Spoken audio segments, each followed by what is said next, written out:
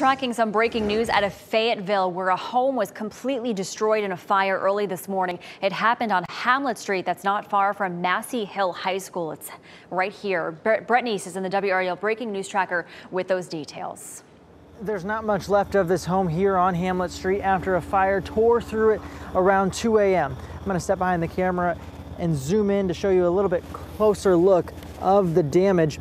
You can see there is still some smoke smoldering from the center of the pile of ashes there. The beams that are left are completely charred. Right there in the center of your screen is what's left of a fireplace.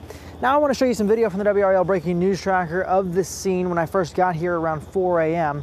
Fire officials tell me that this home was vacant when the fire broke out and no one was injured. The fire was large enough that it charred some of the power lines hanging above the front yard. The damage is so extensive, it's not clear if investigators will ever be able to determine a cause, but I'll stay on top of that part of the story and keep you updated. In Fayetteville, Brett WRAL News.